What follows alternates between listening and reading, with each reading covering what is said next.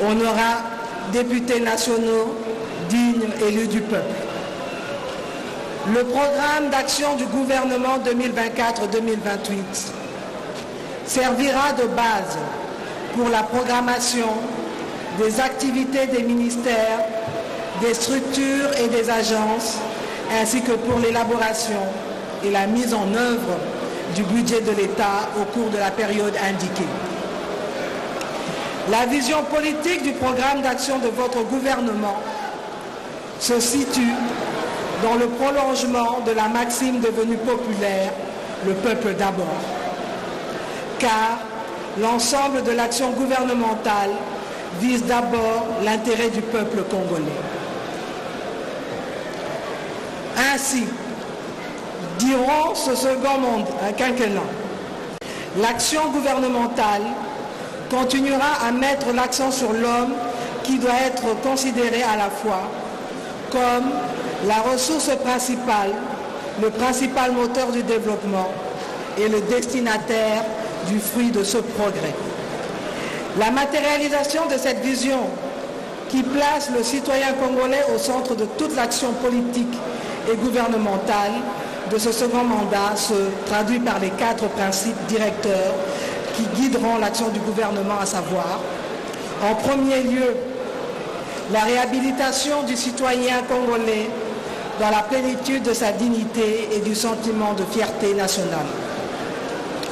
En second lieu, la promotion du dialogue comme instrument clé pour la consolidation de la cohésion nationale et de la participation citoyenne. En troisième lieu, la réussite de la transition de la République démocratique du Congo vers une société à haute intensité technologique. Et enfin, quatrièmement, l'allocation des ressources publiques avec efficacité et équité. Le programme d'action de votre gouvernement tire principalement sa source de plusieurs documents nationaux de planification stratégique et du programme électoral du président de la République 2024-2028 intitulé Allons-y, unité, sécurité, prospérité. Avant tout,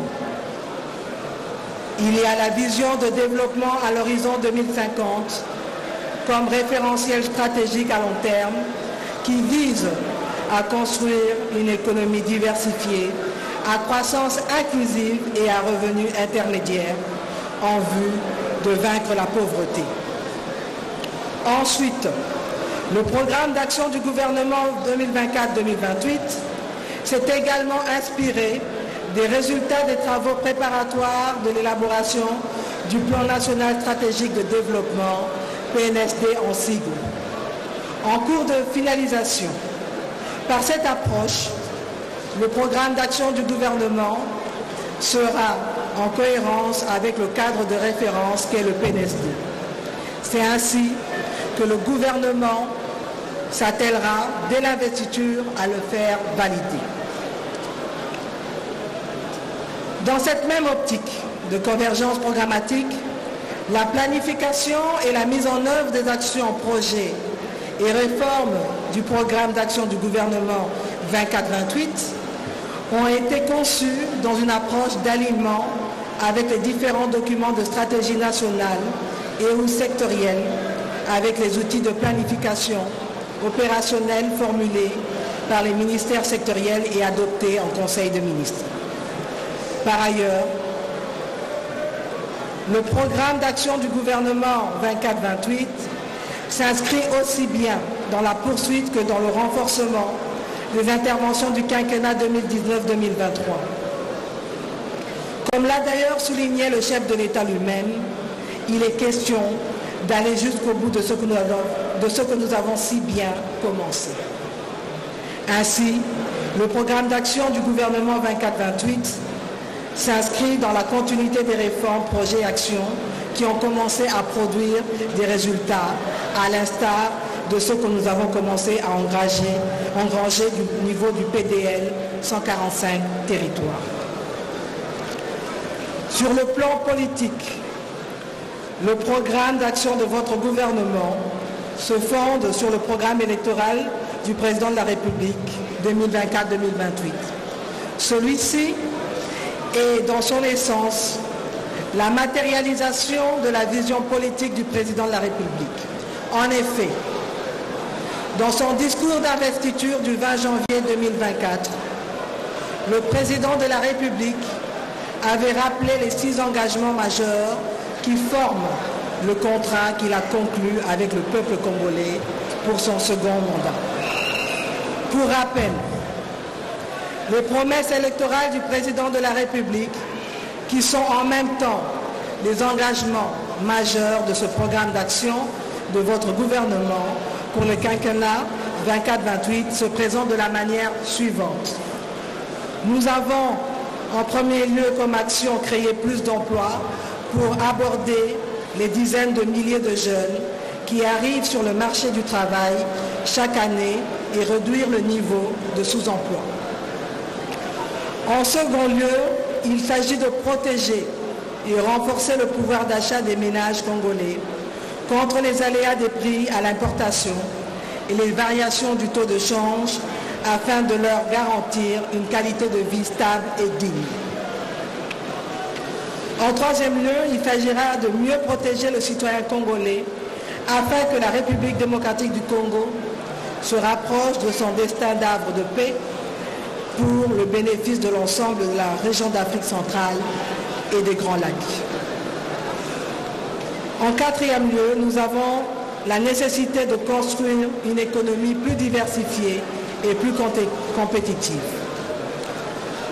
En cinquième lieu, il s'agira d'assurer plus d'accès aux services de base en vue d'éliminer progressivement les disparités géographiques entre milieux urbains et rural, entre provinces, entre grandes et petites villes et en ce qui concerne l'offre des services sociaux.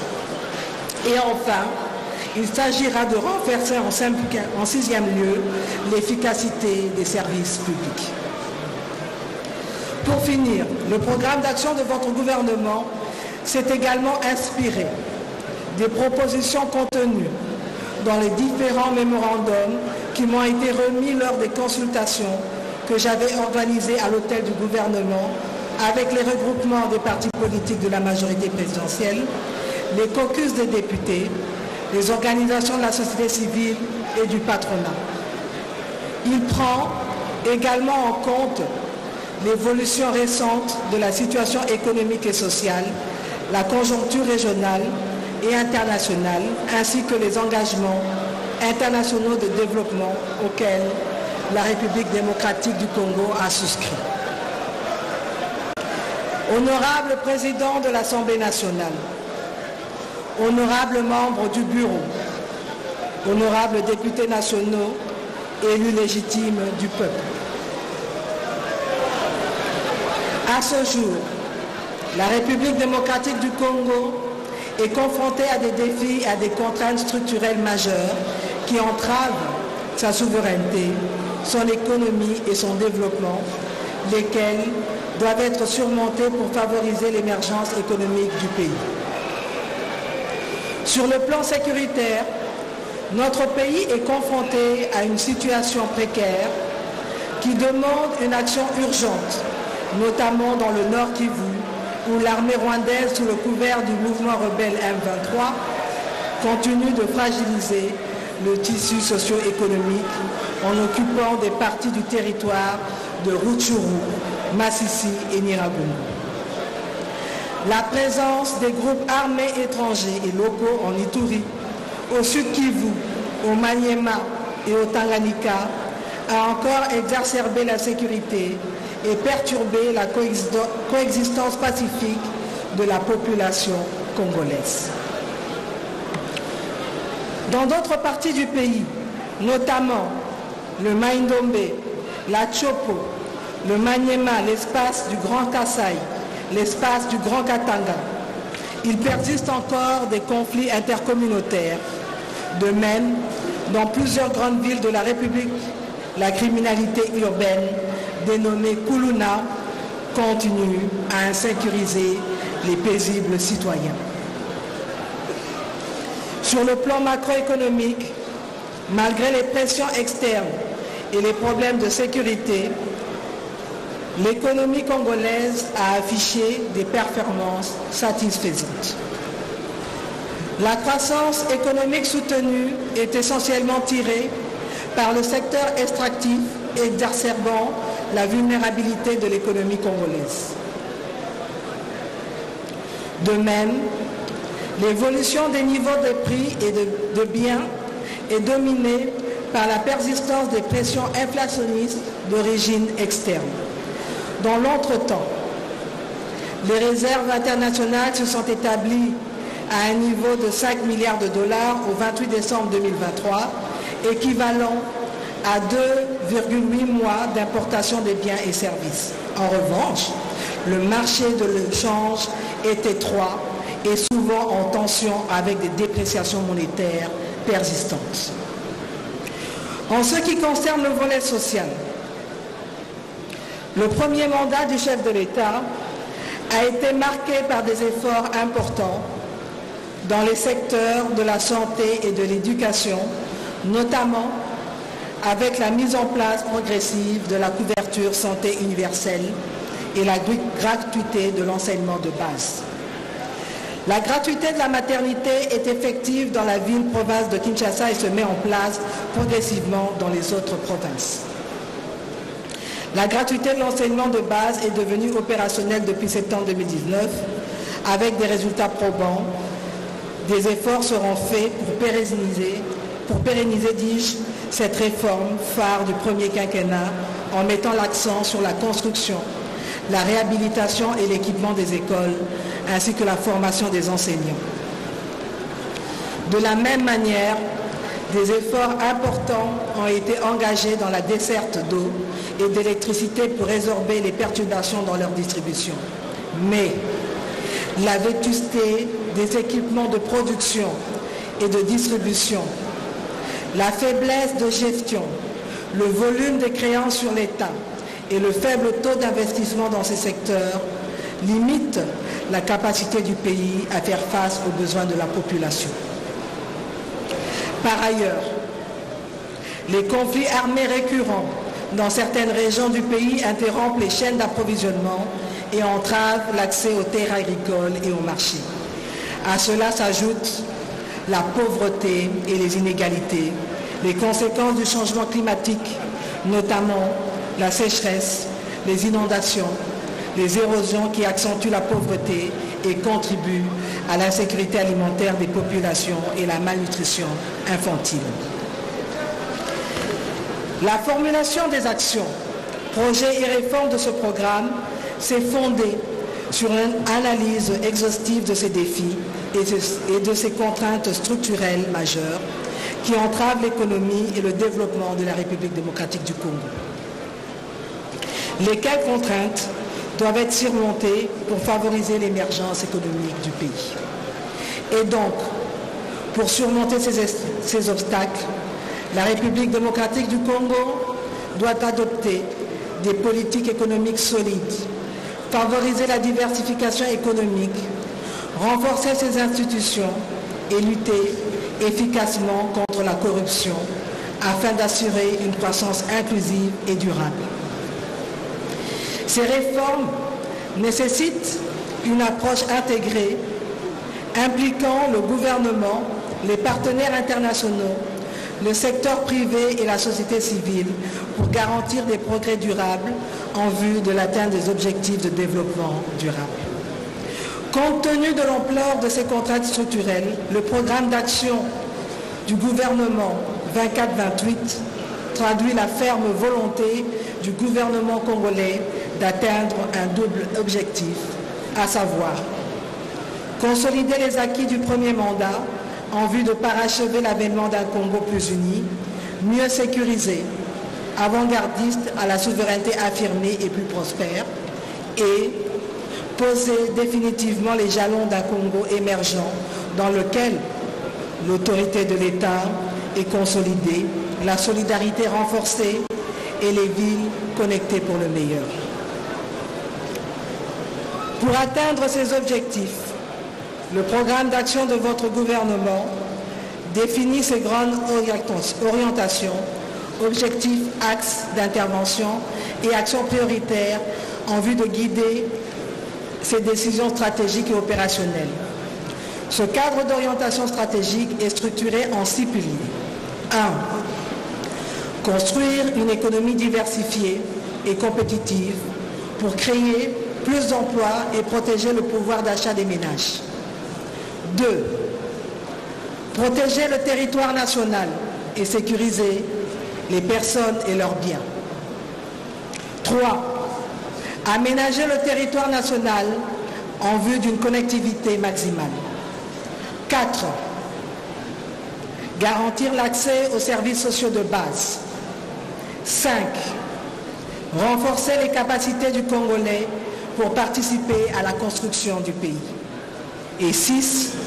Gérer durablement et de manière responsable l'écosystème de la République démocratique du Congo face au changement climatique. Ces six piliers permettront par leur synergie et leur effet complémentaire et cumulatif d'accélérer le développement économique et social de la République démocratique du Congo. Ces piliers se déclinent en 52 axes stratégiques qui correspondent aux différents domaines d'intervention. À leur tour, les 52 axes stratégiques se déclinent en 326 actions, projets et réformes qui seront respectivement mises en œuvre par les ministères sectoriels. Certaines de ces actions constituent des exigences immédiates et d'autres relèvent de la nécessité de transformer structurellement notre société ainsi que notre économie. Honorable président de l'Assemblée nationale, honorables membres du bureau, honorables députés nationaux, élus légitimes du peuple. Permettez-moi maintenant d'attirer l'attention de votre auguste Assemblée sur ce que votre gouvernement entend réaliser pour les cinq prochaines années en vue de matérialiser notre ambition de bâtir un État uni et mieux sécurisé, une économie plus diversifiée et compétitive et une société plus juste pour un développement durable. Le premier pilier de ce programme a pour objectif de créer plus d'emplois et de protéger le pouvoir d'achat des ménages. Il regroupe en lui-même les deux premiers engagements électoraux du président de la République, à savoir plus d'emplois et plus de pouvoir d'achat. En effet, les efforts de stabilisation du cadre macroéconomique du pays déployés durant le premier quinquennat n'ont pas suffisamment facilité la création d'emplois, ni garanti la protection du pouvoir d'achat face à une démographie galopante. Dans le même temps, les fruits de la croissance économique et tous les efforts de redistribution ont été réduits par de faibles revenus, l'envolée des prix mondiaux et la dépréciation de la monnaie nationale. C'est compte tenu de ce constat que le gouvernement que je dirige a fait le choix de mettre en œuvre une politique claire de lutte contre la cherté de la vie visant à atténuer les effets de chocs internes et externes sur les prix intérieurs tels que les chocs sur le coût d'importation des biens, sur l'offre des biens alimentaires et sur le coût de l'énergie observée à la suite notamment de la guerre russo-ukrainienne ainsi que les chocs liés à la situation sécuritaire du pays.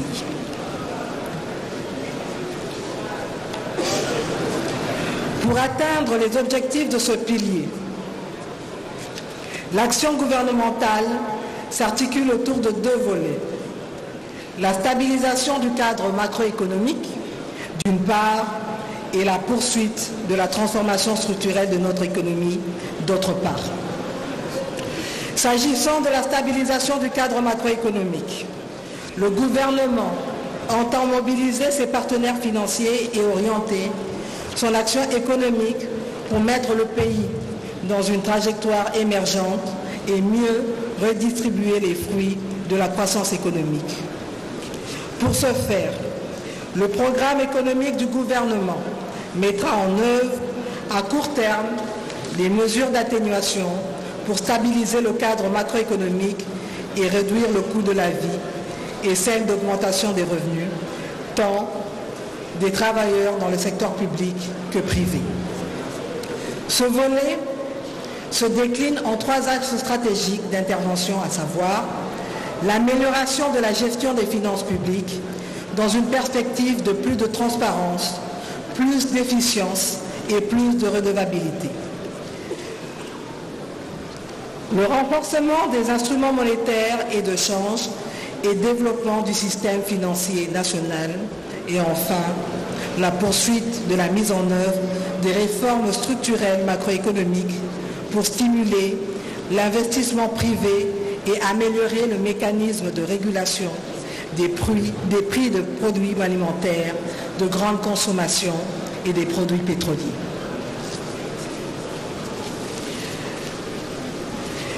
Une des importantes réformes dans le secteur financier et économique concerne la libéralisation du secteur des assurances. En effet, au cours des cinq dernières années, le secteur a pu produire des résultats probants et encourageants en faisant passer notre marché de l'équivalent de 70 millions de dollars en 2018 à plus de, de 320 millions de dollars à fin 2023.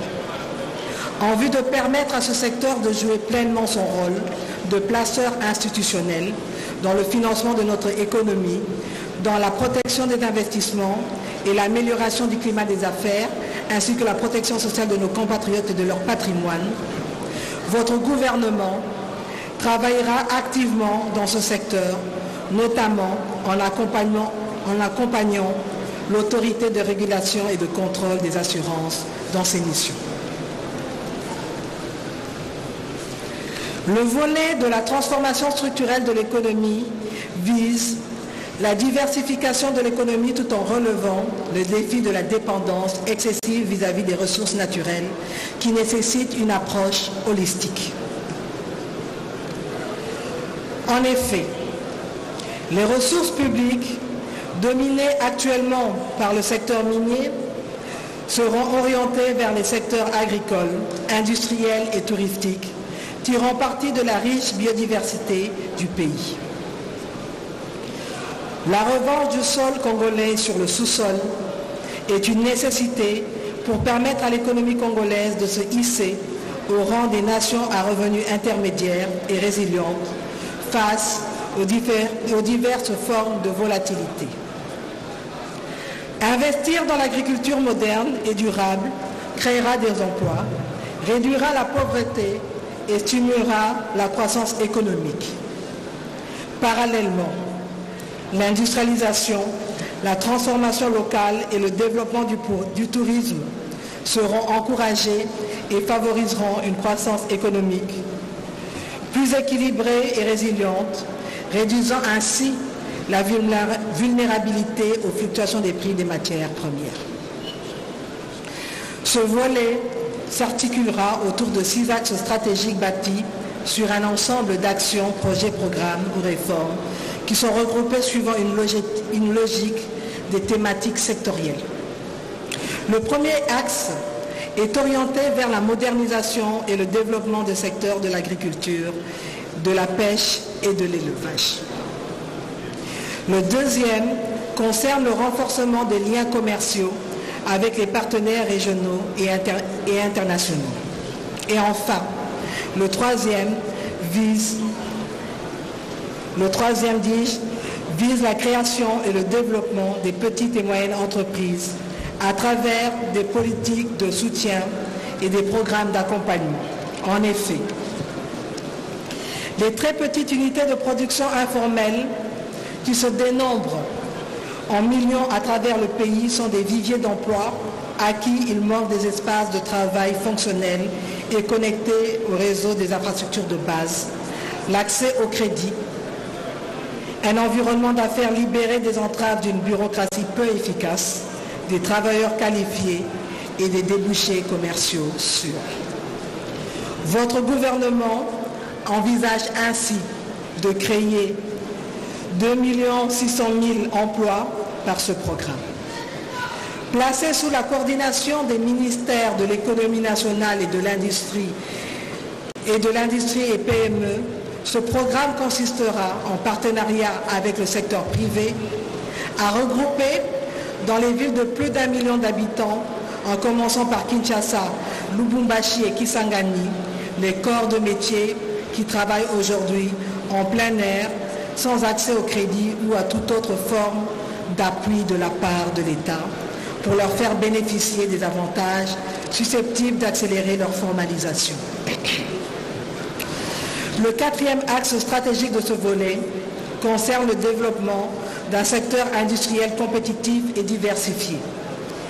Dans le but de bâtir une économie diversifiée et compétitive, votre gouvernement poursuivra les efforts annoncés dans le document de la politique des stratégies industrielles 2019-2023.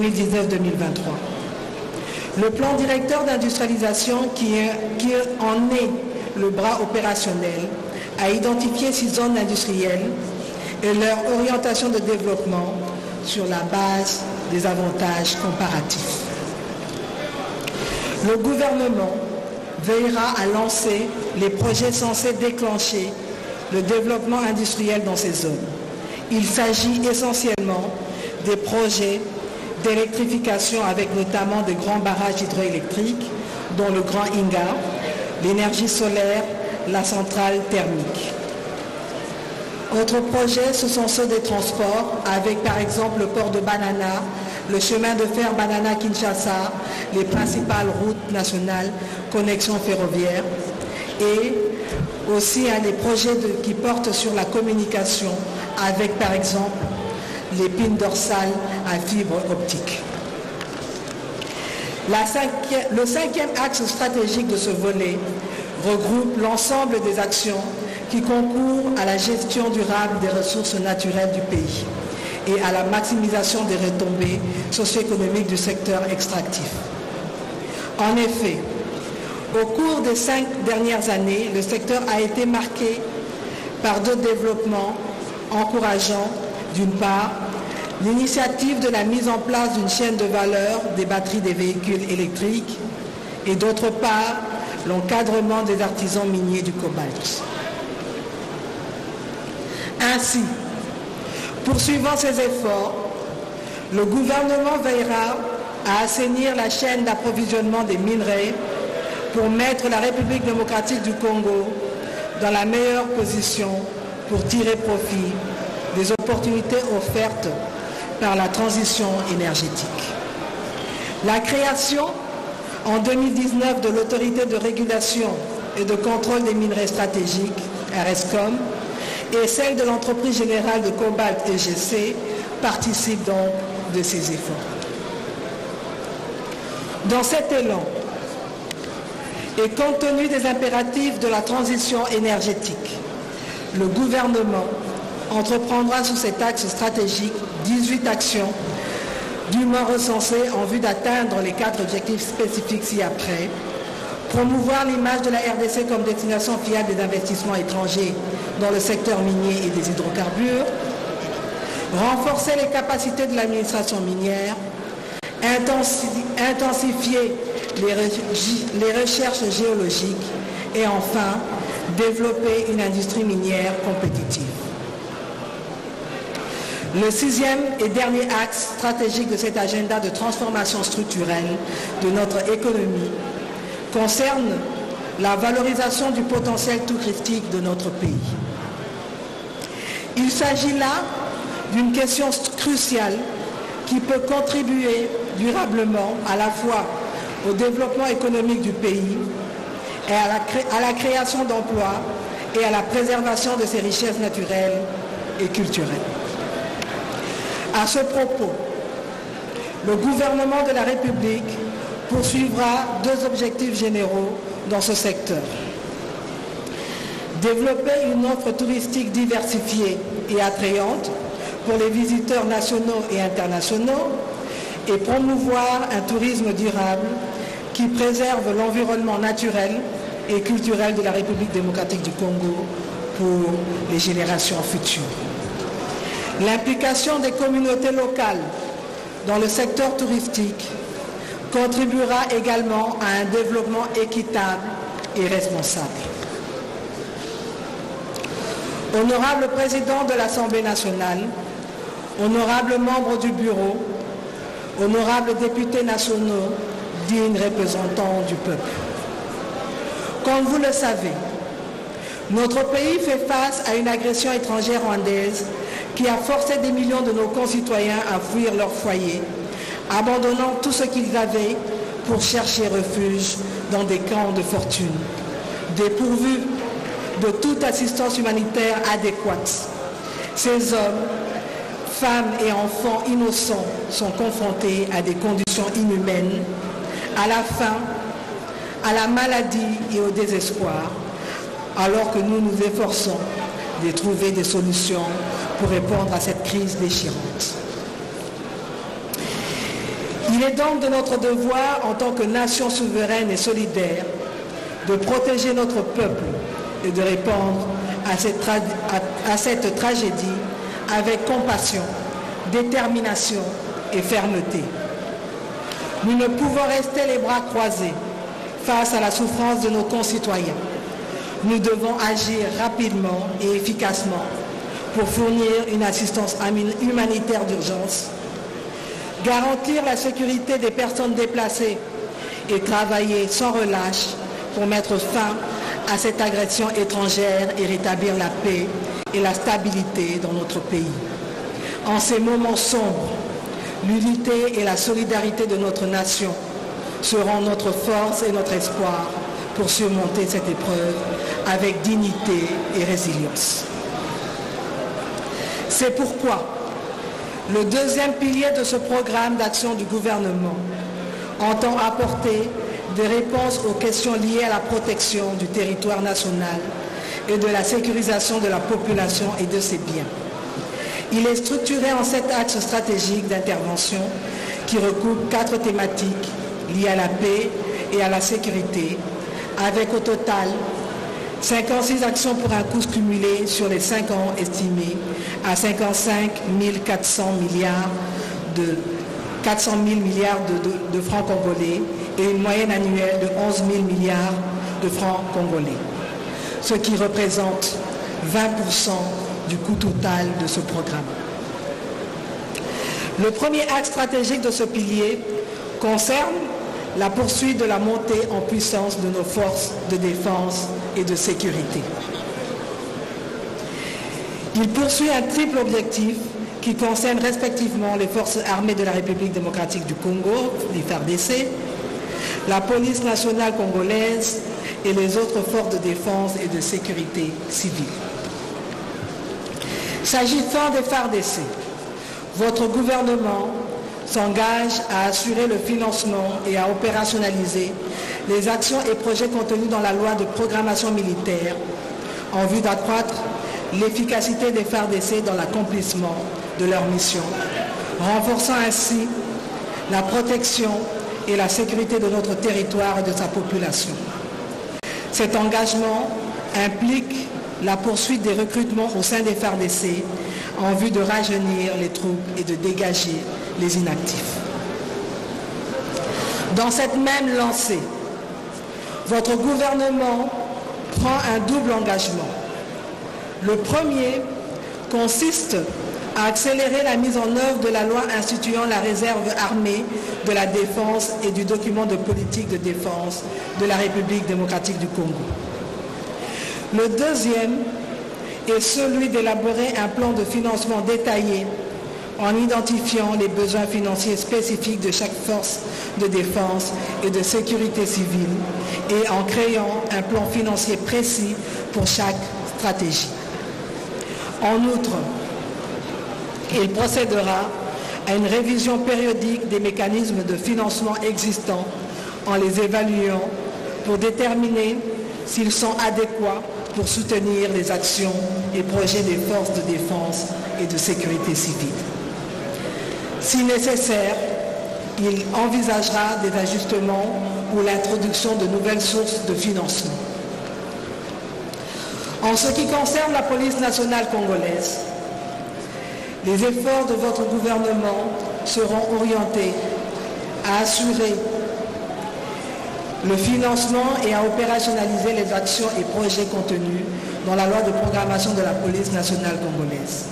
Parmi les actions retenues, il y, aura lieu de, euh, il y a lieu de citer la construction d'une académie de haut niveau de la police nationale congolaise, le, le rehaussement des conditions d'éligibilité pour le recrutement au sein de la police, la formation régulière de 14 000 policiers dans les écoles de police, 21 000 en formation initiale accélérée et 400 commissaires dans les académies de police.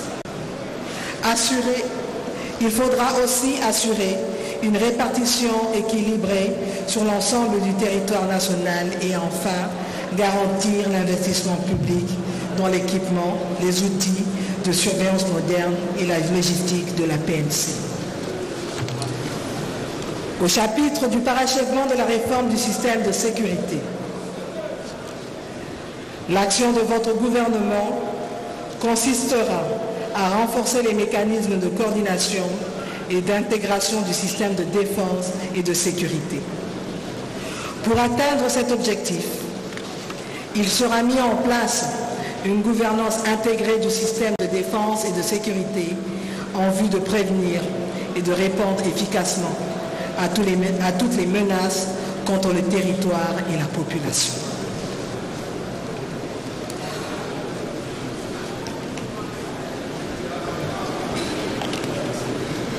Honorable président de l'Assemblée nationale, honorables membres du bureau, honorables députés nationaux, dignes représentants du peuple. L'ambition de la République démocratique du Congo en matière de paix et de sécurité ne peut être dissociée de l'engagement de renforcer la cohésion communautaire. Cet engagement est essentiel pour garantir une paix durable dans notre société. C'est pourquoi votre gouvernement agira en cette matière à partir de deux approches. En premier lieu, celle de la prévention des conflits. En effet, lorsque les communautés sont unies et interagissent de manière harmonieuse, cela réduit les risques de tension, de division et de conflits internes. Une forte cohésion communautaire peut servir de mécanisme de prévention des conflits en favorisant le dialogue, la compréhension mutuelle et le respect des différences. En second lieu, celle de la résolution pacifique des conflits. Car en cas de tension ou de conflit, une communauté cohésive est mieux placée pour promouvoir des mécanismes de résolution pacifique des conflits tels que la médiation, la négociation et le dialogue inclusif. La solidarité et la coopération au sein de la communauté facilitent le processus de réconciliation et de reconstruction après un conflit. Partant de ces deux approches, le gouvernement mettra en place un dispositif de prévention et de, résolution des conflits intercommunautaires et coutumiers. Il dotera des moyens conséquents et renforcera les capacités d'intervention des commissions consultatives de règlement de conflits coutumiers. Dans le même souci de garantir une paix durable, votre gouvernement s'engage à poursuivre la politique de réinsertion socio-économique des démobilisés à travers le programme de désarmement, démobilisation, relèvement communautaire et stabilisation. Pour ce faire, il garantit la mise à disposition des ressources budgétaires suffisantes au, PDDRCS pour assurer le démarrage des segments désarmement et démobilisation. Il prévoit de poursuivre l'opérationnalisation des coordinations provinciales du programme et doter de ressources nécessaires pour garantir une gestion effective des centres de transit et de réinsertion des ex-combattants démobilisés.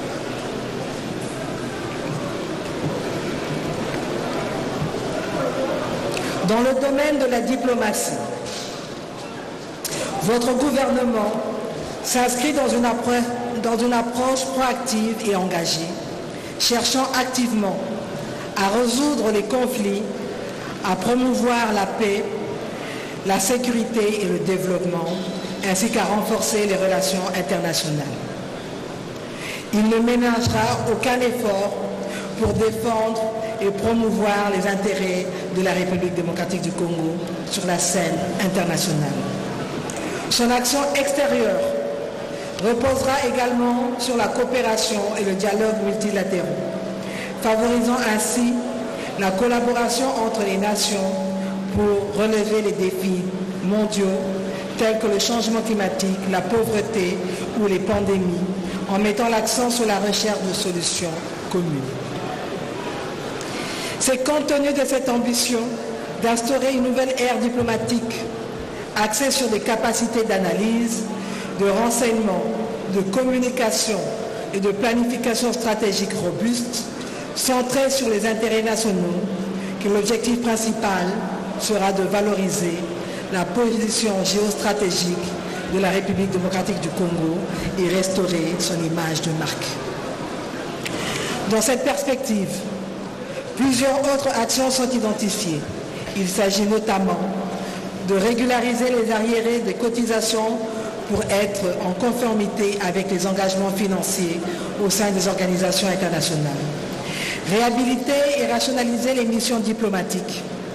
Promouvoir la nomination des cadres congolais au sein des différentes organisations régionales et internationales.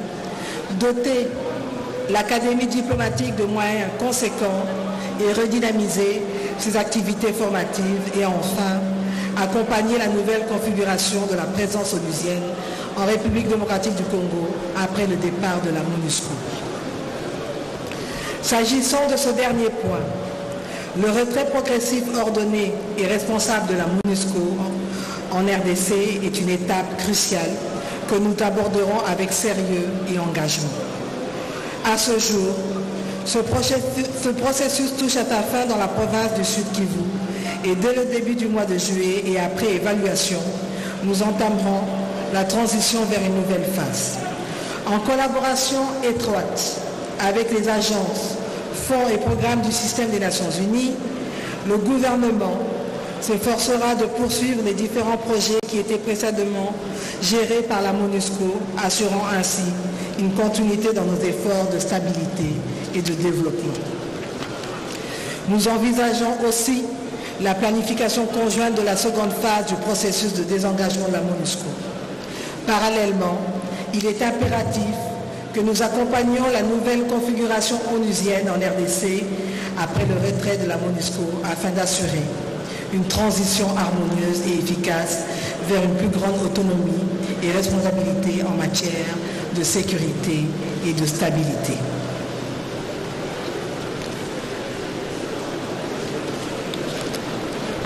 Honorable président de l'Assemblée nationale, honorables membres du bureau, honorables députés nationaux, élus légitimes du peuple, l'engagement de renforcer l'autorité de l'État, de promouvoir l'État de droit et la démocratie n'est qu'un vœu pieux sans un appareil judiciaire restauré et sécurisé. Il est donc impérieux d'améliorer le fonctionnement de l'appareil judiciaire et de veiller à la bonne administration de la justice d'une part et d'autre part d'améliorer les conditions de vie et de travail des magistrats et du personnel judiciaire. Partant du constat peu reluisant de ce secteur, votre gouvernement s'engage à poursuivre l'amélioration de la gouvernance judiciaire à travers la garantie de l'accès aux droits et à une justice de qualité pour tous et améliorer la performance de l'administration de la justice. Pour atteindre cet objectif, plusieurs actions identifiées seront mises en œuvre durant ce quinquennat.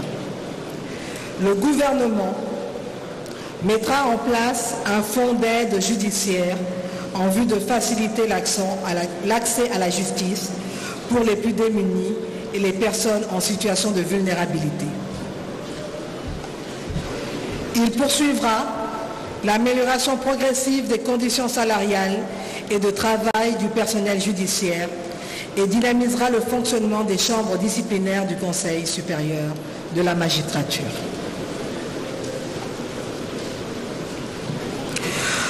En vue de l'exigence de la transparence dans les procédures judiciaires, le gouvernement soutiendra les médias et les organisations de la société civile dans le cadre d'un partenariat en vue de favoriser le contrôle citoyen qui pourrait se traduire notamment par la dénonciation des cas de corruption judiciaire.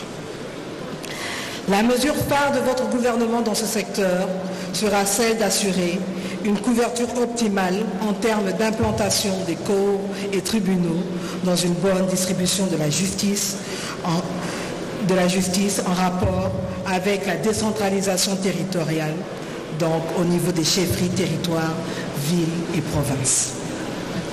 Honorable président de l'Assemblée nationale, honorables membres du bureau, honorables députés nationaux élus légitimes du peuple. Le troisième pilier de ce programme d'action du gouvernement porte l'ambition d'aménager le territoire national en vue d'une connectivité maximale. Il comprend au total 8 axes stratégiques et 41 actions dont le coût cumulé sur les 5 ans est estimé à 63, 300 milliards de francs congolais et une moyenne annuelle de 13,8 milliards de francs congolais, ce qui représente 25% du coût total de ce programme. La modernisation des infrastructures de transport et l'aménagement du territoire constituent le socle pour stimuler la croissance économique, créer des emplois, améliorer la qualité de vie et favoriser le développement durable. À travers des axes stratégiques clairs et ciblés, tels que l'investissement dans les infrastructures de transport, l'amélioration de l'accès aux services de transport et de communication, la promotion des nouvelles technologies de l'information et de communication et le développement urbain durable, le gouvernement vise à répondre aux besoins fondamentaux du secteur privé et des ménages. Il assure ainsi un avenir prospère pour tous les citoyens congolais.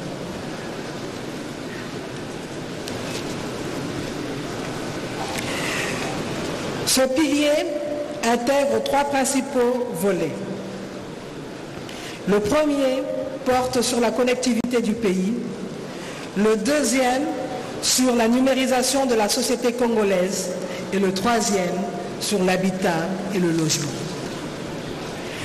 La connectivité du pays sera assurée par plusieurs actions ciblées qui portent sur les investissements dans les infrastructures de transport pour favoriser la mobilité et développer des modes de déplacement multimodaux d'une part et d'autre part sur l'amélioration de l'accès aux services de transport et voies de communication.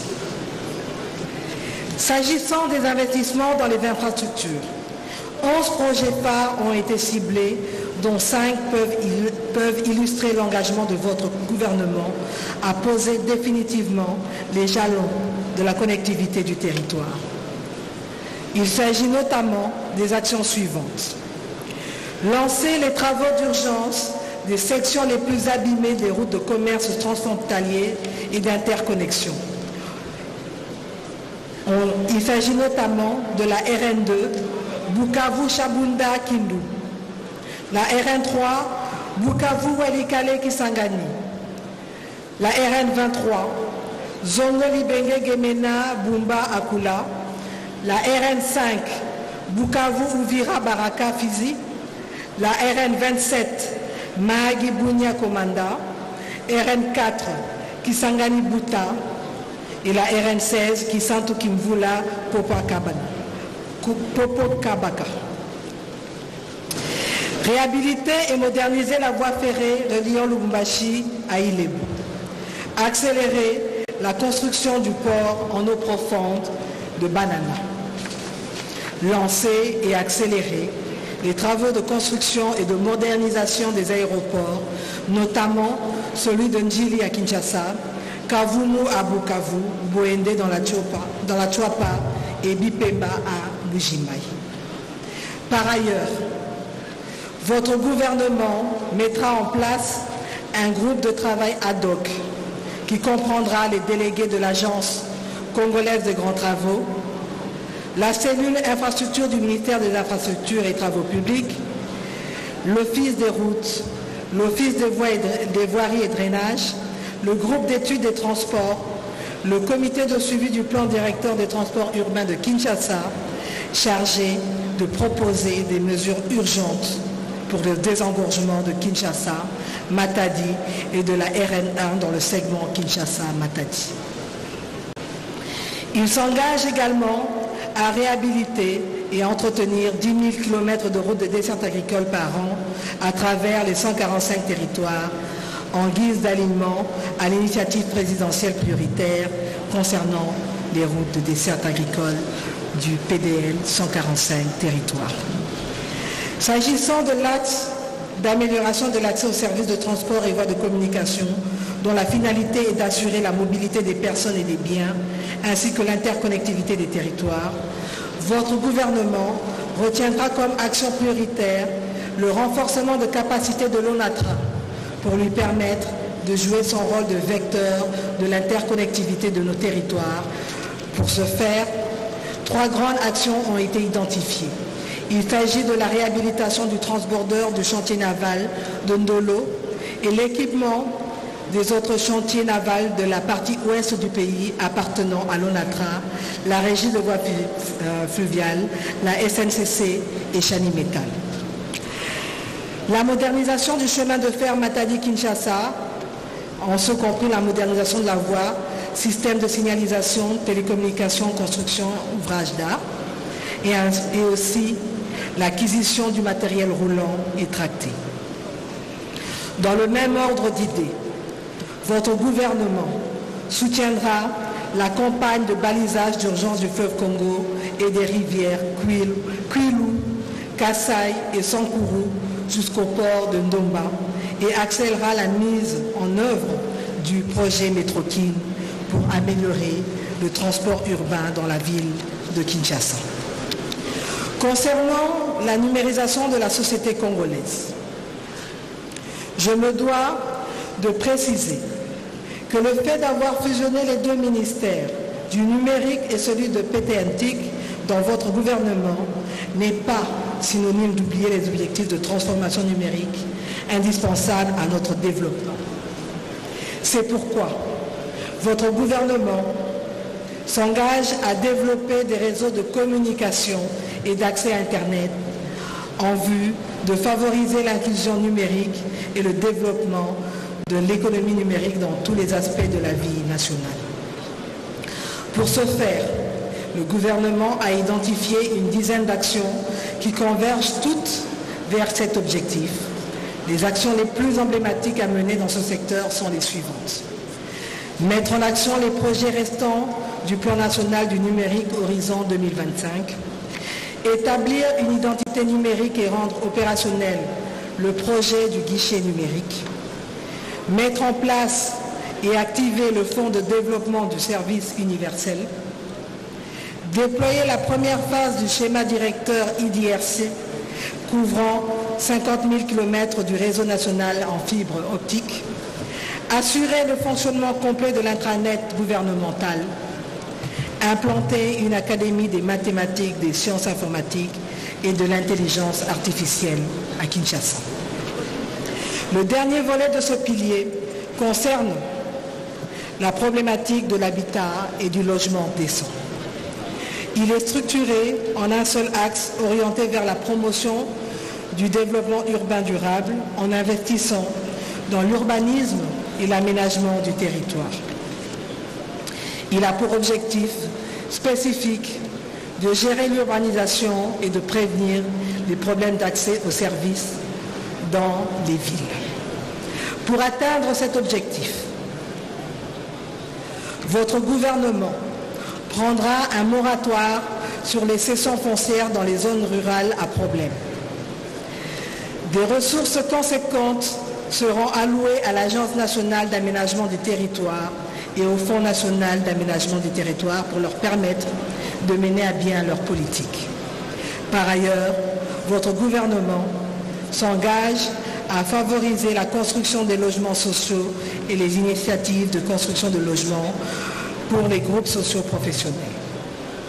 Dans le domaine du patrimoine privé de l'État, votre gouvernement prévoit de dresser un inventaire complet des, biens, de réhabiliter et de récupérer les biens spoliés et d'actualiser les tarifs de location. Honorable président de l'Assemblée nationale, honorables membres du bureau, honorables députés nationaux et élus légitimes du peuple.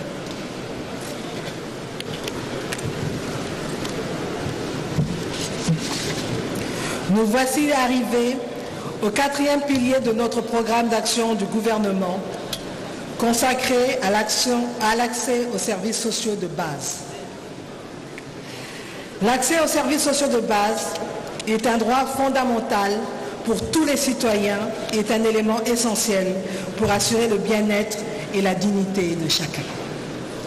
Pour mettre en œuvre ces mesures et pour atteindre les objectifs spécifiques de ce pilier, votre gouvernement adoptera une approche intégrée en vue de garantir un accès équitable et universel aux services sociaux de base, renforçant ainsi la cohésion sociale et la solidarité au sein de notre société. Les projets, réformes et actions de ce pilier sont regroupés autour de cinq volets ou secteurs qui concourent à la promotion du capital humain. Il s'agit de l'accès à l'eau et à l'électricité, l'accès à l'éducation et aux soins de santé, l'accès à la culture et au sport, l'accès à la protection sociale et finalement l'accès à l'information.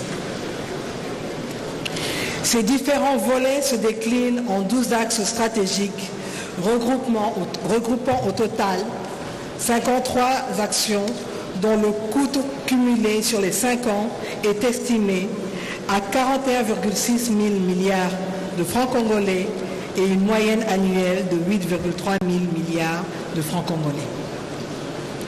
Ce qui représente 15% du coût total de ce programme.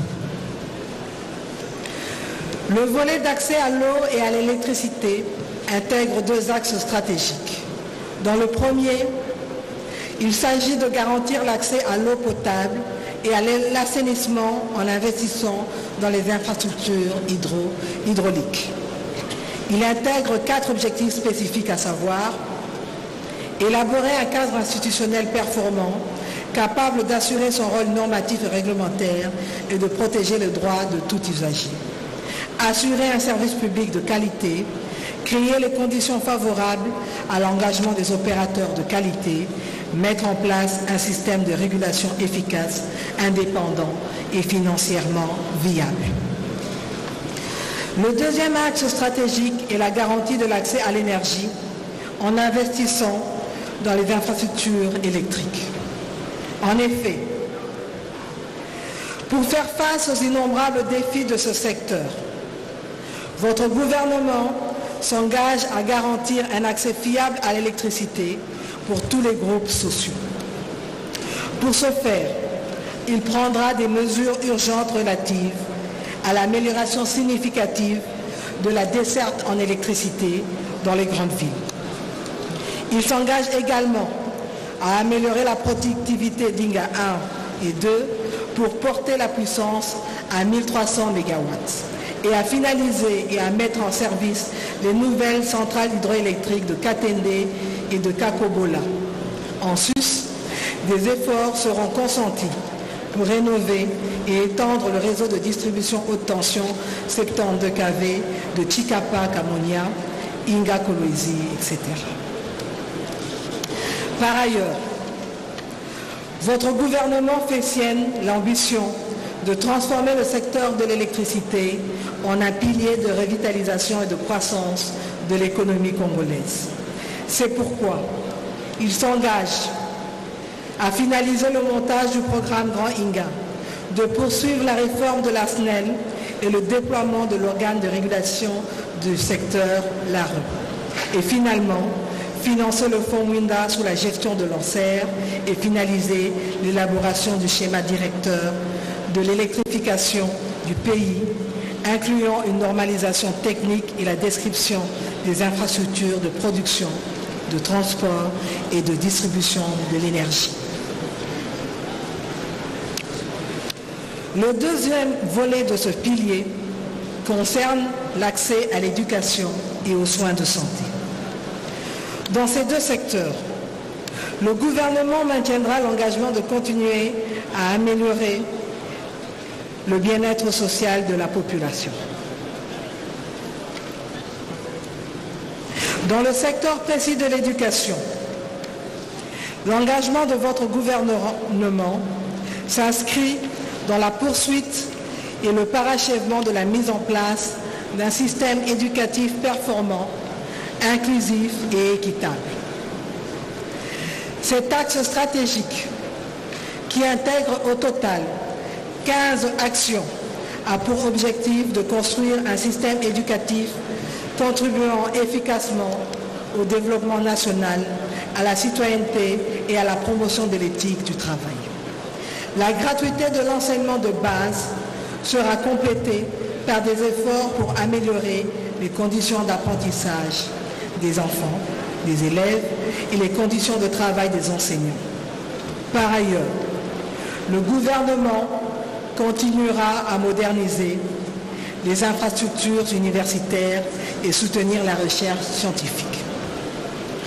Dans le domaine de la santé, le gouvernement continuera à mettre en œuvre la couverture santé universelle visant à garantir l'accès aux soins pour tous, en commençant par la gratuité des accouchements, en instaurant un régime de santé obligatoire pour tous les citoyens et en renforçant les services de santé publics.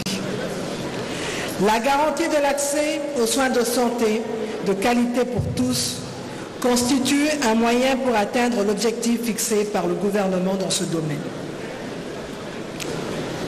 Il s'agit d'augmenter l'espérance de vie du Congolais. C'est la raison pour laquelle plusieurs actions seront entreprises dès l'investiture, notamment étendre la couverture santé universelle à l'assurance maladie de certaines catégories de la population que sont les enseignants, les militaires, les policiers, les invalides de guerre et de la police, ainsi que les retraités. Étendre la gratuité des accouchements et les soins aux nouveau-nés dans toutes les provinces. Poursuivre la réfection et l'équipement des hôpitaux généraux de référence des chefs-lieux des provinces. Élaborer et signer le décret favorisant l'opérationnalisation du système national d'approvisionnement en médicaments à travers l'autorité congolaise de réglementation pharmaceutique et mettre en place l'Agence nationale d'approvisionnement en médicaments pour l'optimisation de la distribution des médicaments aux établissements des soins et dépôts pharmaceutiques.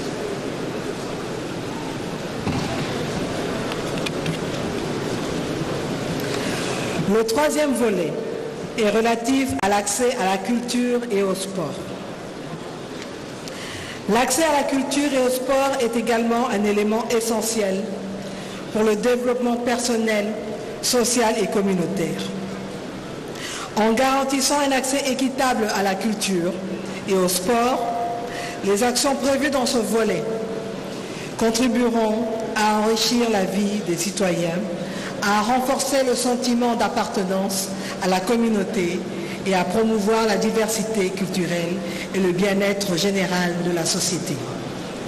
Ce volet se décline en deux axes stratégiques. Le premier concerne la promotion de la culture et des arts congolais dans toutes leurs dimensions. Il a pour objectif de mettre en valeur et faire connaître l'immense patrimoine culturel du pays. Le second axe est relatif à la promotion des sports comme l'un des leviers du rayonnement du pays et de l'amélioration de la santé du Congolais. Il comporte deux actions qui convergent vers l'objectif de promouvoir une classe de citoyens sains d'esprit et de corps, capables de contribuer efficacement au développement. Il s'agira notamment de relancer les Jeux congolais et provinciaux en utilisant les infrastructures construites lors des Jeux de la francophonie d'une part et d'autre part de construire et moderniser les infrastructures sportives dans toutes les provinces. S'agissant du quatrième volet, celui-ci porte sur l'accès à la protection sociale. Tout comme les autres volets de ce pilier, l'accès à la protection sociale est également un droit fondamental qui garantit la sécurité économique et le bien-être des individus, en particulier en cas de difficultés financières, de maladie, de chômage ou de vieillesse. En effet, en garantissant un accès équitable à la protection sociale, votre gouvernement aspire à protéger les personnes les plus vulnérables contre les risques sociaux et économiques tels que la pauvreté, le chômage et l'exclusion sociale. Il contribuera ainsi à réduire les inégalités, à promouvoir la solidarité sociale et à assurer le bien-être et la dignité de tous les Congolais et de toutes les Congolaises. Ce volet comprend trois axes stratégiques à savoir la réduction des inégalités hommes-femmes et les violences faites aux femmes, la promotion d'un emploi décent, la sécurité sociale pour tous et la gestion des risques, ainsi que l'insertion sociale et l'entrepreneuriat des jeunes. S'agissant de la réduction des inégalités hommes-femmes et la violence faite aux femmes, votre gouvernement accordera à la femme congolaise sa juste place au sein de la communauté en favorisant sa participation au développement du pays à tous les niveaux et en luttant contre les, violences liées au genre. Pour ce faire, trois actions principales ont été ciblées. En premier lieu, il s'agira d'augmenter le quota de participation des femmes dans les institutions politico-administratives. En second lieu, votre gouvernement construira des centres de suivi des violences basées sur le genre et installera des antennes provinciales de l'Agence nationale de lutte contre les violences faites à la femme, à la jeune et petite fille, à Vifem aussi. Et en, et en dernier lieu, il sera mis en œuvre un plan d'action de la stratégie nationale de la lutte contre les violences basées sur le genre, visant l'implantation des centres intégrés euh, systémiques et l'opérationnalisation de la vie faite. En ce qui concerne la promotion de l'emploi décent, de la sécurité sociale pour tous et la gestion des risques, le gouvernement que je dirige entend créer une classe moyenne susceptible de participer à la création de richesses ainsi qu'à l'effort de développement national. Dans ce secteur, il est envisagé de mener quatre actions phares. Il s'agit notamment de construire par des partenariats publics-privés des ateliers de travail mutualisés dans les villes de plus d'un million d'habitants, en commençant par Kinshasa, Lubumbashi et Kisangani. Créer 40 pôles d'agropreneurs organisés en filière par province par an, avec une capacité de 200 postes de travail par pôle. Mettre en place par l'interaction entre l'Office national de l'emploi, l'ONEM, l'unité présidentielle chargée du suivi des trois initiatives présidentielles prioritaires et le ministère du Plan une plateforme numérique pour l'enregistrement et le suivi des emplois créés. Renforcer la couverture de l'ONEM par l'implantation des maisons d'emploi dans les 145 territoires. Le dernier axe stratégique de ce volet est, en lien avec l'insertion sociale et l'entrepreneuriat des jeunes. Il traduit l'ambition de votre gouvernement de créer des emplois et insérer socialement les jeunes par la promotion de l'entrepreneuriat. Dans cette optique, votre gouvernement créera des micro-entreprises agricoles et se propose d'équiper des centres d'incubation dans les centres de production agricole en faveur des femmes et des jeunes. En outre, cette population cible pourra bénéficier de formations stage emploi en vue de leur intégration à l'économie formelle. Sans être exhaustif, d'autres mesures d'accompagnement seront également mises en œuvre, telles que faciliter aux jeunes filles, aux jeunes plutôt, l'accès aux différentes formes de crédit à des conditions avantageuses, notamment par le renforcement du Fonds de garantie de l'entrepreneuriat du Congo, FOGEC en cycle. Lancer un programme d'investissement des jeunes dans l'agro-industrie en collaboration avec les gouvernements provinciaux. Le dernier volet de ce pilier est l'accès à l'information. En effet, l'accès à l'information est essentiel pour permettre aux citoyens de prendre des décisions éclairées, d'exercer leurs droits et de participer pleinement à la vie sociale, économique et politique. En favorisant un accès équitable à l'information, l'État garantit la transparence gouvernementale et encourage la participation démocratique tout en renforçant la responsabilisation des institutions et le développement personnel et collectif. Dans ce volet, votre gouvernement a fait les choix stratégiques suivants. Poursuivre et parachever la réforme du cadre normatif et institutionnel en finalisant les textes légaux et réglementaires. Moderniser la RTNC 3 pour la couverture et la diffusion des activités parlementaires et institutionnelles. Poursuivre l'amélioration de l'image de marque du pays à travers une communication institutionnelle stratégique. Redynamiser le fonctionnement de l'administration à la communication. Et enfin, harmoniser et renforcer la communication autour de l'action gouvernementale. Honorable Président de l'Assemblée nationale, honorables membres du Bureau, honorables députés nationaux, élus légitimes du peuple. Le cinquième pilier de ce programme est dédié à l'impérieuse nécessité de renforcer l'efficacité des services publics. Dans cette optique, il est important de mettre en place des mesures et des pratiques qui visent à améliorer la qualité, la transparence, l'accessibilité et la réactivité de ces services. En mettant en œuvre ces mesures, l'administration de l'État congolais entend améliorer son efficacité, gagner la confiance des citoyens et contribuer au bien-être et au développement durable de la société congolaise dans son ensemble. Ce pilier est structuré en deux axes stratégiques. Le premier consiste à moderniser les services publics administratifs pour plus d'efficacité. Le deuxième entend parachever le processus de mise en œuvre de la décentralisation et de la réforme de l'administration territoriale.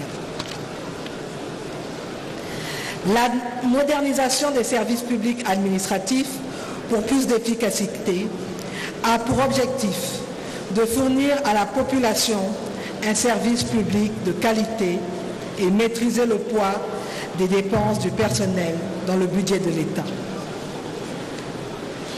Pour y arriver, votre gouvernement mettra en œuvre cinq actions spécifiques.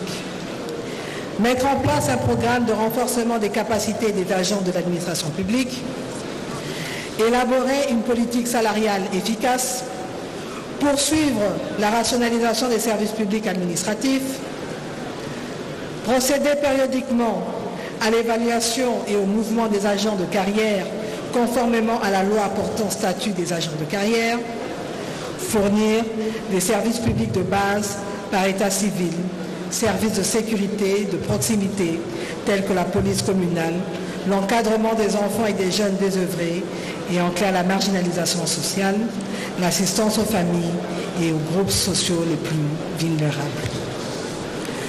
Sur un autre registre, votre gouvernement souhaiterait parachever le processus de mise en œuvre de la décentralisation et la réforme de l'administration territoriale. Pour y arriver, il s'engage à assurer le transfert effectif des compétences et de ressources aux provinces et aux ETD pour ainsi renforcer les capacités des acteurs de la décentralisation. Honorable président de l'Assemblée nationale, honorables membres du bureau, honorables députés nationaux, élus légitimes du peuple. Le dernier pilier du programme d'action de votre gouvernement concerne la gestion durable et responsable de l'écosystème de la République démocratique du Congo face au changement climatique.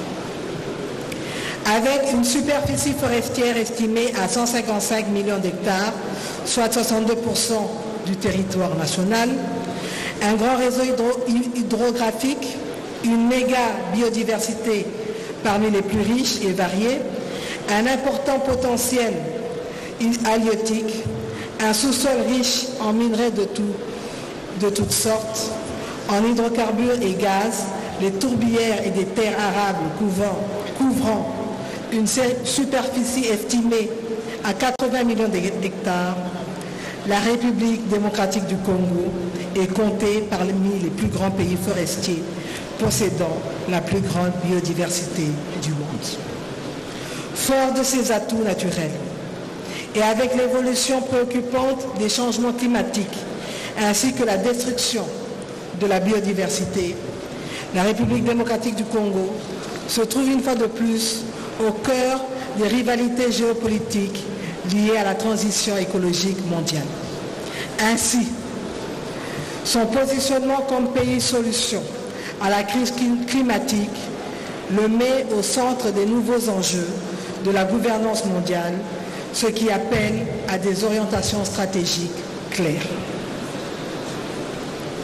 La mise en place des mesures solides dans ce secteur permettra à la RDC de jouer pleinement son rôle de leader dans les discussions internationales sur le changement climatique, tout en tirant parti des mécanismes appropriés tels que le crédit carbone, dont les recettes pourront être orientées vers la lutte contre la pauvreté.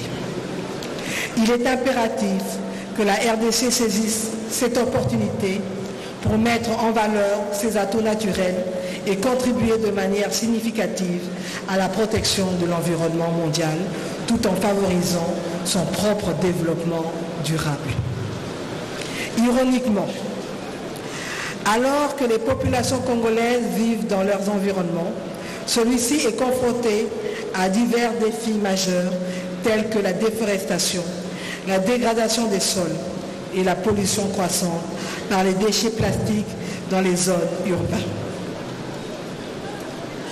Il est évident qu'il est urgent de déployer des efforts considérables pour inverser cette tendance et lutter de manière durable contre ces effets néfastes, notamment les inondations, les érosions, les épidémies, entre autres.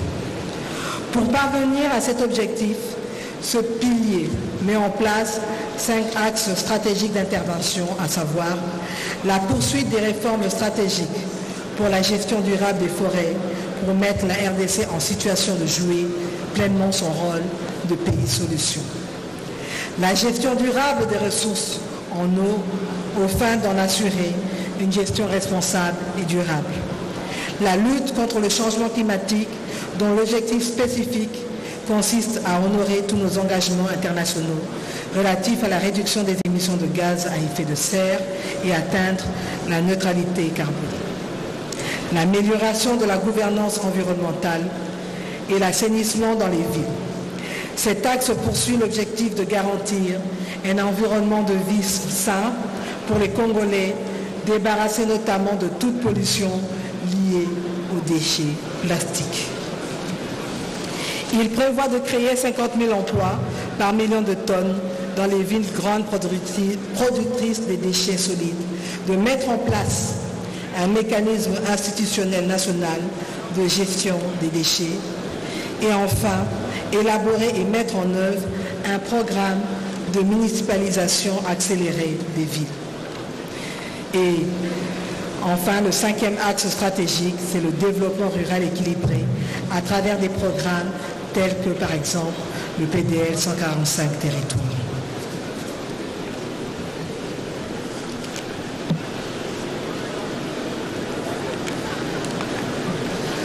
Honorable président de l'Assemblée nationale, honorables membres du bureau, honorables députés nationaux dignes élus du peuple, le programme d'action du gouvernement que j'ai ainsi l'honneur de présenter aujourd'hui devant votre auguste Assemblée se chiffre à 277,1 277 000 milliards de francs congolais, soit 92,9 milliards de dollars américains pour les cinq prochaines années et devra être totalement financé par des ressources étatiques et non étatiques du pouvoir central et des provinces ainsi que des entités territoriales décentralisées. La répartition du coût du programme suivant ces différents piliers se présente comme suit. 30% est alloué au pilier 1 qui porte sur la création de plus d'emplois et la protection du pouvoir d'achat des ménages, avec un coût total cumulé de 81 000 milliards de francs congolais sur les 5, sur les 5 ans du programme, soit une moyenne de 16,6 000 milliards de francs congolais par an. 25% sont alloués au pilier 3, qui porte sur l'aménagement du territoire national en vue d'une connectivité maximale ce qui représente un coût total cumulé de 69 000 milliards de francs congolais sur les 5 ans du programme, soit une moyenne de 13,8 milliards de francs congolais par an. 20% sont alloués au pilier 2, qui porte sur la protection du territoire national et la sécurisation des populations et des biens.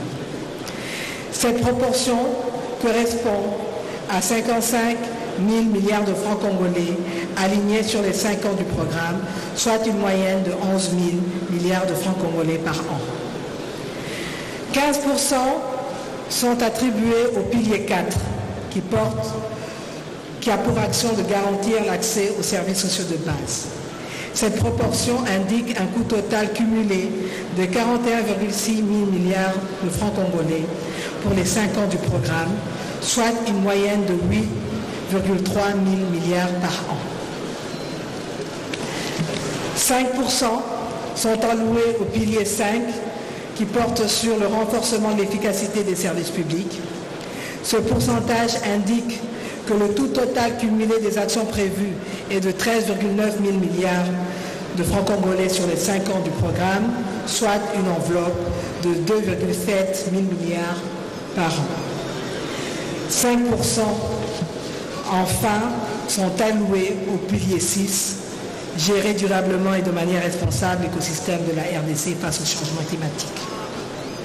Cette proportion correspond à la quantité estimée de 13,9 000 milliards de francs congolais sur les 5 ans du programme, soit environ 2,7 000 milliards de francs congolais par an.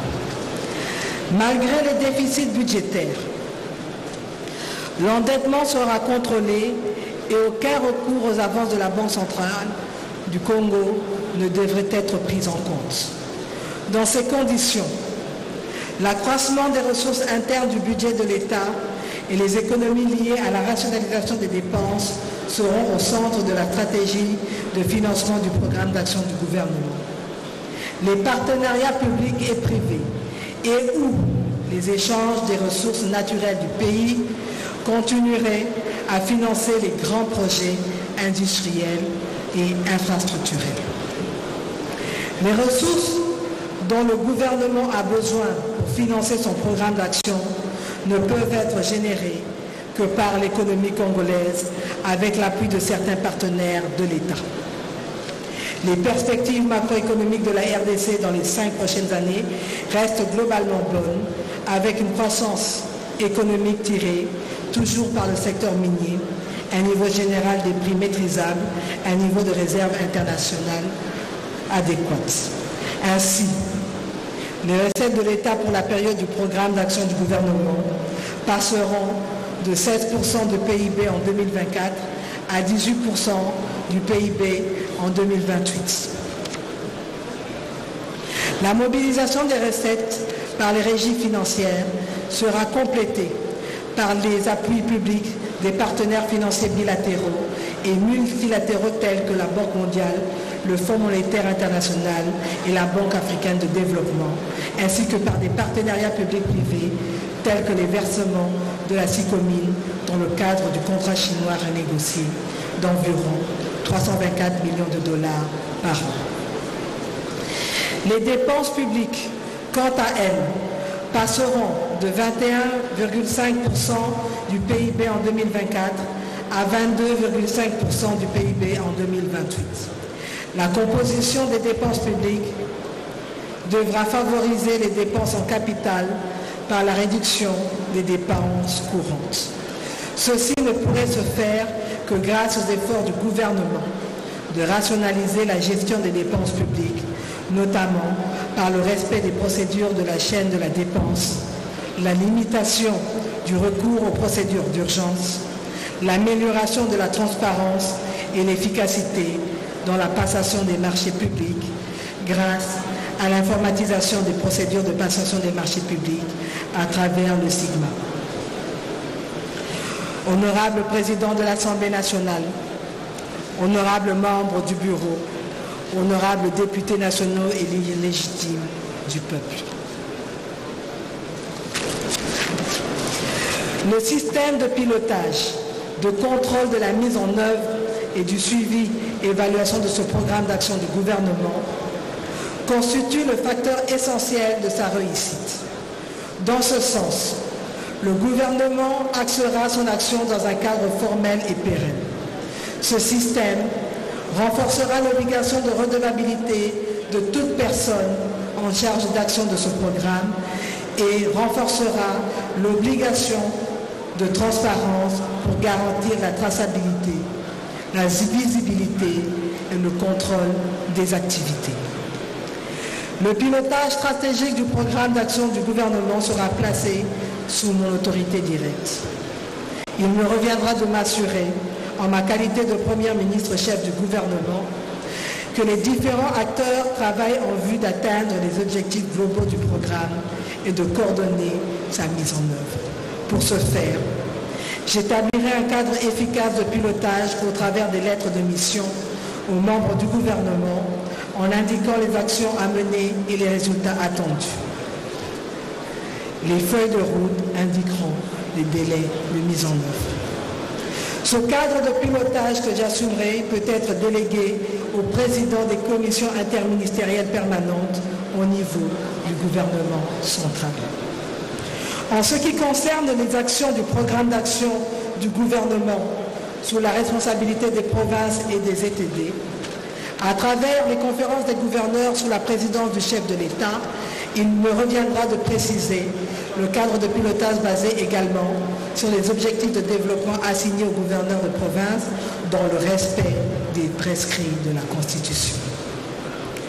Le pilotage opérationnel de la mise en œuvre de ce programme incombera aux ministres responsables de leur secteur. Le programme d'action du gouvernement sera soumis à un système de suivi et évaluation régulier en termes de revue du programme, en termes de revue du programme. Ces revues permettront de s'assurer de l'état d'avancement et de prendre, le cas échéant, les mesures correctives. La base de ces revues serait la matrice des mesures et d'indicateurs de performance du programme d'action du gouvernement. La gestion axée sur les résultats et la gestion par objectif seront privilégiées pour mesurer les performances de chaque secteur. Quant à l'obligation de redevabilité, elle sera imposée à tous les responsables des projets. Honorable président de l'Assemblée nationale, honorables membres du bureau, honorables députés nationaux d'Inélie du peuple, votre gouvernement propose des mécanismes de collaboration avec le Parlement pour la mise en œuvre du programme pour favoriser une communication ouverte, une collaboration constructive et un engagement mutuel. Ce programme d'action du gouvernement est assorti de certains instruments de collaboration avec l'Assemblée nationale qui sont essentiels pour assumer un fonctionnement démocratique et efficace du gouvernement en permettant une supervision et un contrôle parlementaire approprié. Sur la base de cette collaboration ouverte et permanente, votre gouvernement est désireux de contribuer à la production législative tout en respectant pleinement le principe de la séparation des pouvoirs. À cet effet, le gouvernement se propose de soumettre à l'Assemblée nationale un agenda législatif qui servira de cadre de référence de la collaboration interinstitutionnelle. L'agenda législatif proposé ci-après n'est pas une liste exhaustive, mais il permet de donner plus de cohérence au programme du gouvernement. Cet agenda législatif concerne les textes légaux portant notamment sur les matières suivantes. Amendement de la loi portant principes fondamentaux de l'agriculture, projet de loi sémentielle, révision du Code des investissements, révision de la loi pour les finances euh, publiques, la LOFIP, la révision de la loi sur les marchés publics et les, partenariats publics-privés, le régime fiscal adapté aux très petites entreprises et autres appuis du genre, projet de loi INGA et j'en passe. Cet agenda législatif serait programmé sur la base d'un dialogue entre la chef du gouvernement et les présidents de deux chambres dans les périodes entre deux sessions parlementaires successives en fonction des urgences et de la pertinence des sujets à débattre.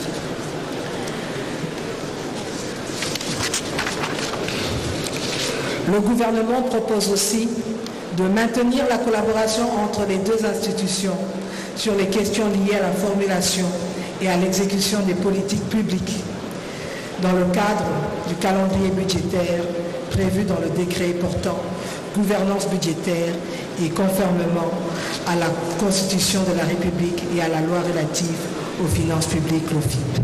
Cette loi ayant levé l'option de basculer vers les budgets programmes, le gouvernement devra ainsi institutionnaliser le processus de planification, programmation, budgétisation, suivi et évaluation.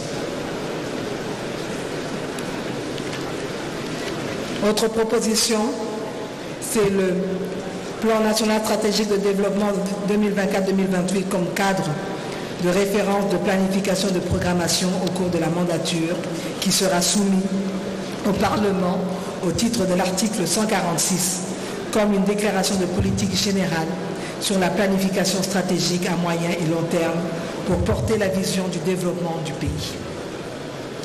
Le gouvernement tient à assurer le Parlement de, sa disponibilité à répondre régulièrement selon un format à convenir aux questions des honorables députés sur la marche des affaires du pays. De la même manière, pendant les sessions parlementaires, les membres du gouvernement resteront disponibles pour informer les commissions parlementaires de la manière dont les programmes publics sont mis en œuvre et de la manière dont les lois sont appliquées. Le gouvernement aura aussi à recourir régulièrement aux procédures législatives particulières pour toutes les matières ou situations dont l'urgence et la technicité exigeraient l'intervention du gouvernement conformément au prescrit de l'article 129 alinéa 1 de la Constitution et pour la ratification des traités et accords internationaux dûment négociés et signés par le gouvernement en vertu de l'article 214 de la Constitution. Ces mécanismes sont essentiels pour assurer une supervision démocratique du gouvernement et garantir une reddition des comptes appropriée.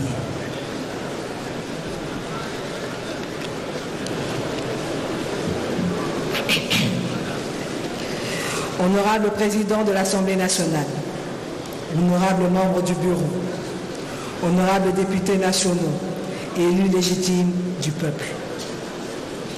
Le programme d'action du gouvernement que je viens de présenter aujourd'hui marque un engagement profond envers l'amélioration des conditions de vie de nos concitoyens et la transformation structurelle de notre pays. en misant sur la création d'emplois, la protection du pouvoir d'achat, l'aménagement du territoire, la sécurité, l'accès aux services sociaux de base, l'efficacité des services publics et la gestion durable de notre environnement, nous nous engageons à bâtir un avenir meilleur pour la République démocratique du Congo.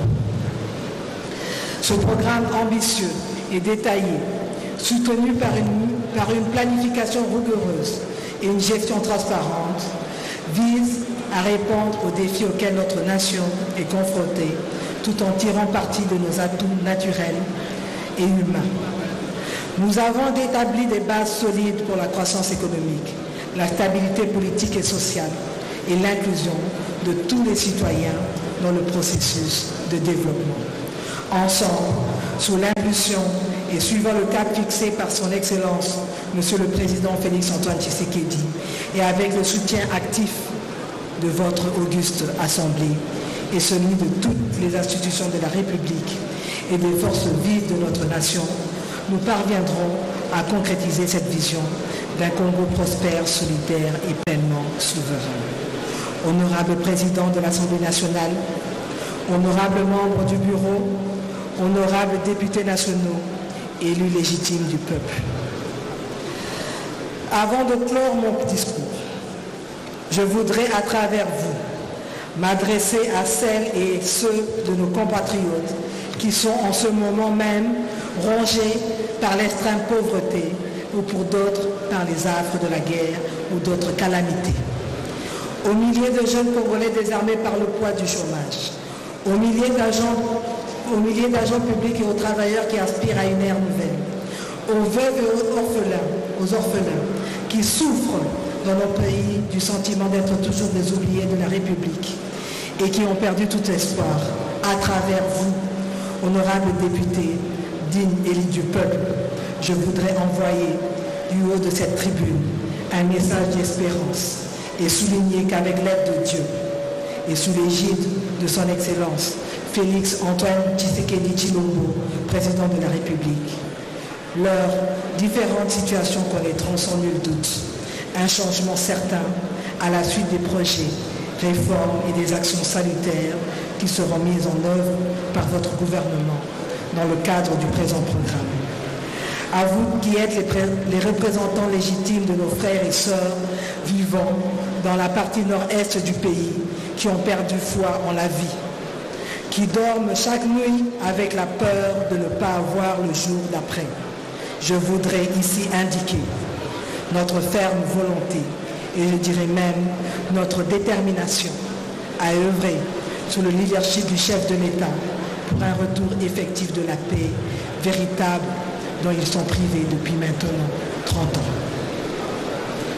Honorable président de l'Assemblée nationale, honorables membres du bureau, honorables députés nationaux, élus légitimes du peuple. La République démocratique du Congo est face à son destin.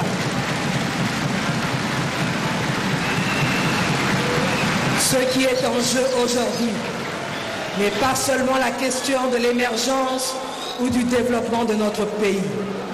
Ce, qui est en, jeu va au-delà de nos clivages et de nos différents intérêts. Ce qui est en jeu, c'est la ré réappropriation de notre destin en tant que Congolaises et Congolais. Ce qui est en jeu, c'est l'avenir de notre pays en tant que nation une et indivisible. Et pour relever tous ces défis, nous devons être capables de mettre de côté ce qui nous divise afin qu'ensemble nous fassions triompher l'intérêt général et l'intérêt général seul. Nous sommes les descendants de Kimpavita et de Kimbangu. Nous sommes la patrie de Kassavubu et de Lumumba. Rien ni personne ne doit nous faire reculer ni nous faire trembler. Et je voudrais ici, si vous le permettez, honorable député, digne élu du peuple, en ma qualité de première ministre chef du gouvernement, en ce que ma qualité de maman congolaise, indiquer que la République démocratique du Congo se défendra face à nos agresseurs ainsi qu'à leurs complices, ceux qui massacrent tous les jours nos paisibles populations, qui décapitent nos enfants, nos frères qui violent nos sœurs, nos mamans qui pillent nos richesses. Tôt ou tard, ils répondront de leur barbarie et de leurs crimes devant la justice.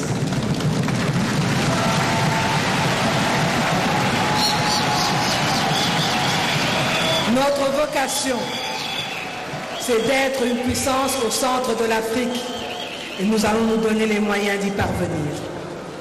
Voilà pourquoi, sur base de ces convictions, je sollicite humblement, honorables députés nationaux et élus légitimes de notre peuple, que vous approuviez le programme de votre gouvernement dont le résumé vient de vous être exposé. Que vive la République démocratique du Congo, que Dieu protège et bénisse notre peuple et ses dirigeants. Je vous remercie. Matondo Mingi, Twasa Kidila, Aksanti Sana, Matondo Nabeto, Nabeso, Matondo Nabeso Bachi. Merci.